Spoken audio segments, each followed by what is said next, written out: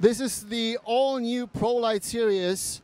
It replaces Delite and S Classix, and it's the, the, the only left production series made in Germany. It's also handmade like the Delite and S Classix was, and as uh, SQ2 is. So it's a complete new series. We are using the vintage maple shell, which is kind of a, you know, kind of a Sonor classic right now. Um, it has um, nine new finishes on it, uh, which, which I can show you later. What's new on the drum kit is we are back on squared patches, which uh, many of the customers will love, I think. We, are, we increased the TAR system. It's now an H-bar TAR, pretty similar to SQ2. So it's completely free floating on four um, locks, no further contact to the shell, so the, the shell can even breathe more and has more sustain to it.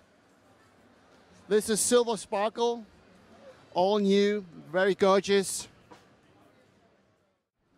This is uh, the new finish, Walnut Brown Burst, very gorgeous and premium looking finish, I think.